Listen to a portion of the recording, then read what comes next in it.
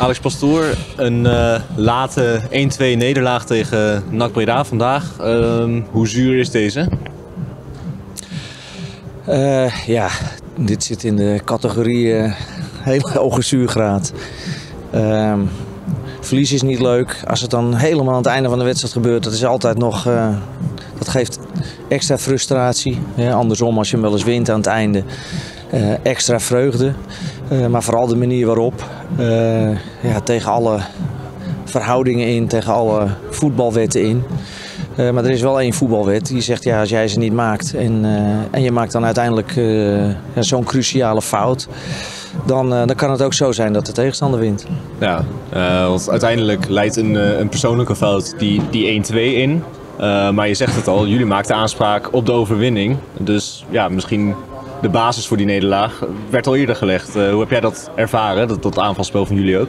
Hoe bedoel je, de basis werd eerder gelegd? Uh, nou ja, uh, jullie stonden al op 1-1, terwijl jullie ook kans hadden om zelf doelpunten te maken. En dat, is ook, dat was ook niet gebeurd. Oh, zo. Ja. Ja, kijk, we hebben 90 minuten lang aangevallen. En in de eerste helft heeft dat tot enkele schoten in en om de 16 geleid. Niet heel veel grote kansen. Ja, en, en dat was in de tweede helft natuurlijk veel anders. Uh, we hebben goed aangevallen, we hebben doelpogingen ondernomen. De keeper van NAC heeft er een paar goede uitgehaald. En onze restverdediging was in, uh, in veel gevallen ook uitstekend. We hadden de bal snel weer terug.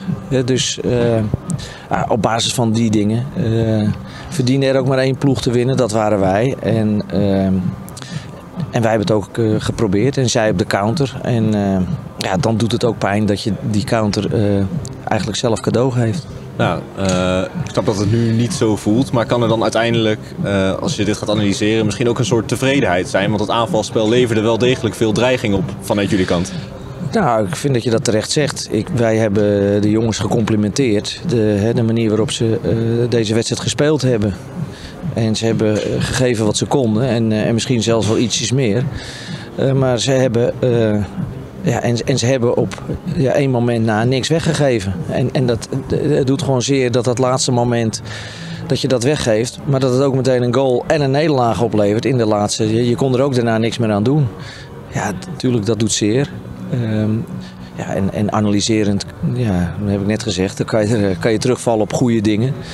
Maar uh, daar, ben, daar, zijn we nu niet aan toe. Dat is geen uh, pleister op de wond. Nee, dat snap ik. Uh, desalniettemin, ja, nu twee punten achter Roda in de periode.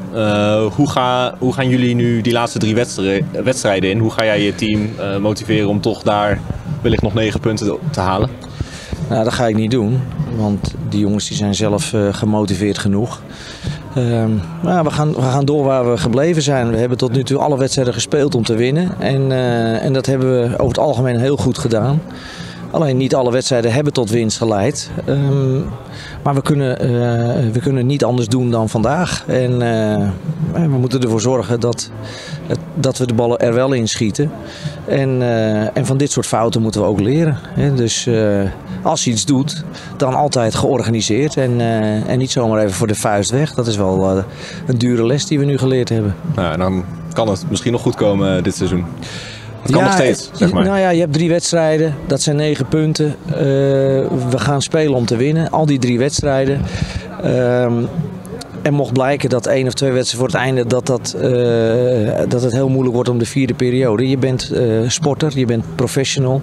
Dus je wint, wilt sowieso alles winnen, al is het alleen maar voor de eer. En, en zo gaan we die wedstrijden in.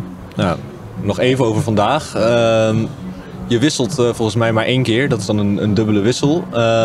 Is het nog ja, bijvoorbeeld door je heen gegaan om op het einde nog een extra aanvaller in te brengen? Is dat iets waar je ja. mee bezig bent geweest? Ik kan me voorstellen dat mensen dat zich afvragen namelijk. Ja, nou dat, dat, dat is eigenlijk een, een doorlopend proces. Hè? Of je uh, door moet gaan met het spel wat je speelt. Moet je daarin iets veranderen? En, uh, en moet dat ook eventueel met andere spelers?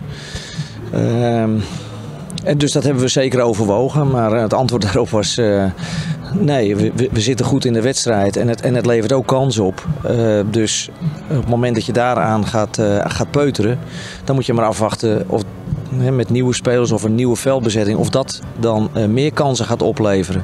Nou, als je, als je denkt of inschat van niet met de hele staf, dan doen we dat niet. Nee, duidelijk. Dankjewel. Alsjeblieft.